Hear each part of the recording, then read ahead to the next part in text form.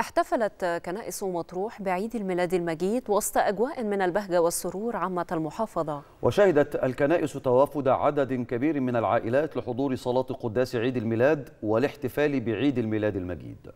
كل سنة وأنتم طيبين.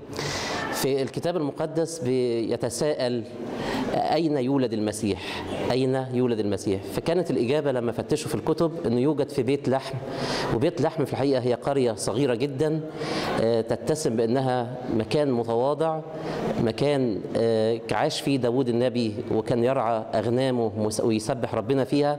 فيولد السيد المسيح حيث القلوب المتواضعة وحيث القلوب المرنمة وحيث الأماكن الهادية اللي كان عايش فيها الرعاة بسلام.